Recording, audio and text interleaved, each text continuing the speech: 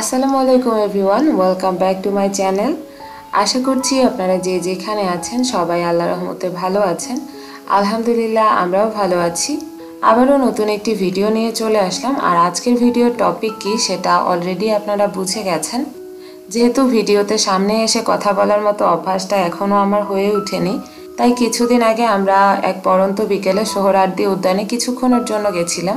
সেই ক্লিপসগুলো নিয়েই ভিডিওটা, সেই সাথে আমার সুখবরটা দিতেই চলে এসেছি। তো যাই হোক, এবারে আসে আসল কথায়। আলহামদুলিল্লাহ, আল্লাহ রহমতে আমি মা হতে যাচ্ছি ইনশাল্লাহ এটা আমার জন্য অনেক বড় একটা পাওয়া। আর শুধু আমার জন্য বলছি কেন, আমার কাছে মনে হয় দাম্পত্য জীবনে প্রতিটা কাপলের ক্ষেত্রেই এটা আসলেই অনেক বড় একটা নিয়ামত আল্লাহর পক্ষ থেকে।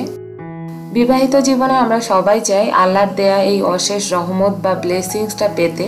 তো আলহামদুলিল্লাহ, আল্লাহ যে এই ব্লেসিংসটার মধ্য দিয়ে আপাতত আমাকে নিয়ে যাচ্ছে এর জন্য আল্লাহর কাছে হাজার শুক্রিয়া। তো আল্লাহ রহমতে আমার ফাইভ মান্থস কমপ্লিট হয়ে গেল। ইনশাআল্লাহ সামনের দিনগুলো হয়তো ভালোভাবেই যাবে, আল্লাহর কাছে এটাই চাই। এবং আপনারাও সবাই দোয়া করবেন আমার জন্য। আর আমার এই ইউটিউব পরিবারের সদস্য সংখ্যা হয়তো খুব একটা বেশি না তারপরও আপনারা যে কয়েকজন আছেন, আপনারা আমার একটা পরিবারের মতো। যেহেতু মোটামুটি এখানে আমার লাইফস্টাইল ভালো মন্দ শেয়ার করি, সেখানে এত বড় একটা জিনিস তো হাইড করার মতো কিছুই নাই। বেশ অনেক দিন ধরে ইরেগুলার ভ্লগ দিচ্ছি বলে আপনাদের মধ্যে অনেকেই জিজ্ঞেস করছেন যে, কেন রেগুলার ভ্লগ দিচ্ছি না? কিংবা কয়েকজন আপু তো অলরেডি গেস করে ফেলেছেন যে, আমি প্রেগনেন্ট কিনা কমেন্টে জিজ্ঞেসও করেছেন। কিন্তু আমি সরাসরি কোনো অ্যান্সার না দিয়ে বরং অ্যাভয়েড করে গেছি। তবে হ্যাঁ আপনাদেরকে জানানোর ইচ্ছা আমার বরাবরই ছিল। তবে একটা সময় পার হওয়ার পর সব কিছু বুঝে শুনে তারপরেই জানাব, এমনটাই প্ল্যান করে রেখেছিলাম।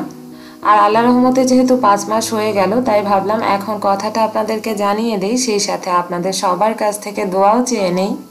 তারপরও ফাইনালি যখন ডিসাইড করলাম যে আপনাদেরকে জানাব, কীভাবে জানাব এটা নিয়েও আবার বিভিন্ন দ্বিধাদ্বন্দ্বের মধ্যে ভুগছিলাম।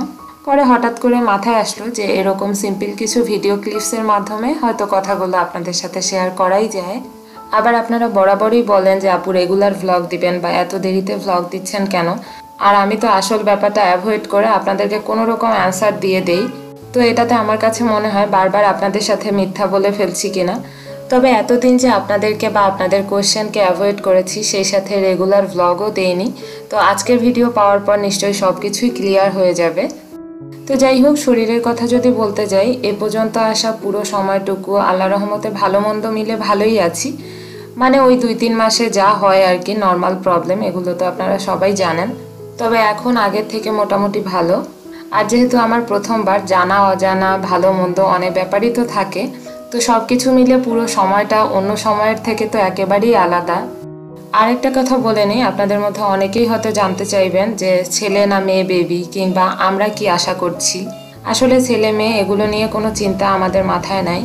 আল্লাহ যা ভালো মনে করবে বা আমাদের জন্য যা ভালো হবে সেটা হোক মেয়ে বা ছেলে, তাতেই সুক্রিয়া শুধু আল্লাহর কাছে সব সময় চাই আল্লাহ যেন সুস্থ, স্বাভাবিক একটা সন্তান আমাদেরকে দান করে।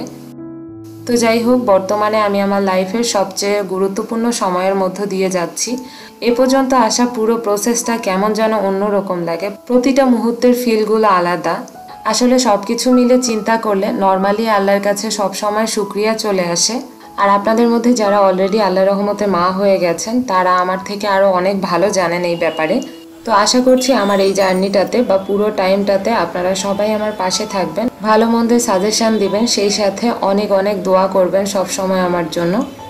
তো আজকের মতো এখানেই শেষ করছি। ইনশাল্লাহ কথা হবে নেক্সট ব্লগে সে পর্যন্ত সবাই ভালো থাকবেন। আল্লাহ হাফেজ।